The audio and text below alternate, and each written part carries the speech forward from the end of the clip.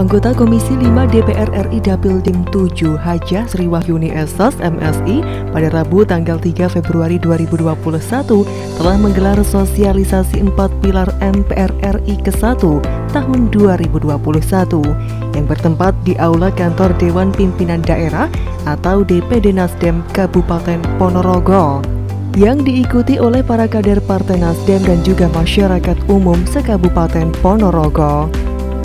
Acara sosialisasi 4 pilar MPR RI ke-1 tahun 2021 menurut Zainul Yusuf SHI, tim ahli anggota Komisi 5 DPR RI Dapil Jatim 7 sangat penting diadakan Sebab sosialisasi 4 pilar MPR RI kebangsaan merupakan sebuah sarana yang baik dalam rangka membangun kesadaran bersama di tengah-tengah masyarakat akan perlunya pengamalan terhadap pilar Pancasila pilar UUD 1945, pilar NKRI, dan pilar Bhinneka Tunggal Ika yang mulai terlupa pemaknaan dan pengamalannya di kehidupan berbangsa dan bernegara.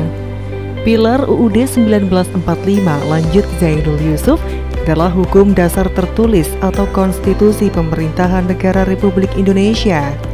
Konstitusionalisme mengatur dua hubungan yang saling berkaitan satu sama lain, yaitu hubungan antara pemerintah dengan warga negara dan hubungan antara lembaga pemerintahan yang satu dengan lembaga pemerintahan yang lain. Ya, acara hari ini adalah sosialisasi empat pilar agenda rutin anggota MPR RI uh, yang hari ini diselenggarakan di kantor DPD Nasdem Kabupaten Ponorogo uh, dengan beserta eh, kader-kader uh, dan juga dari masyarakat umum uh, se-Kabupaten Ponorogo.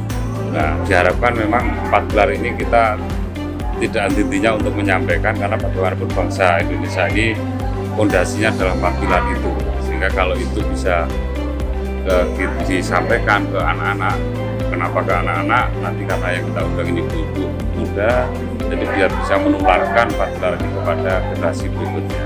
Jadi poin-poin empat pilar ini adalah yang pertama Undang-Undang Dasar Republik Indonesia kemudian Pancasila kemudian Negara Kesatuan Republik Indonesia dan Bhinneka Tunggal Ika.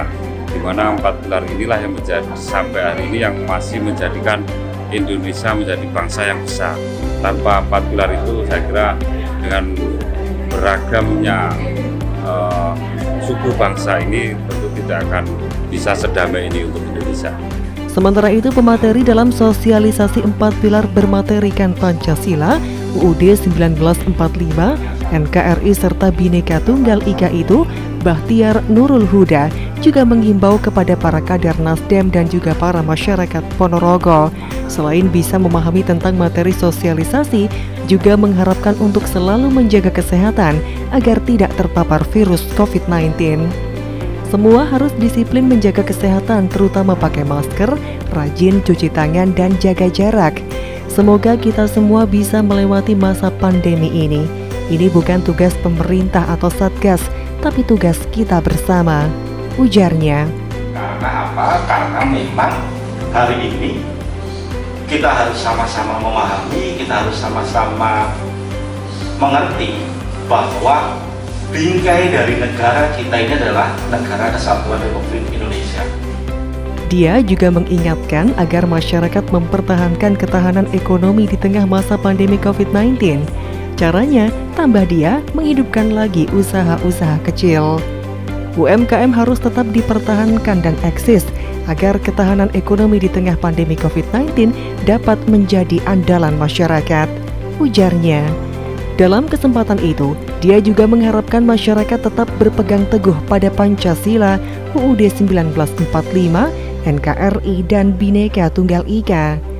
Dengan berpegang teguh pada empat pilar kebangsaan, maka kita bisa mempertahankan kelangsungan berbangsa dan bernegara. Tandasnya, Anang Sastro, JKTV Ponorogo, melaporkan.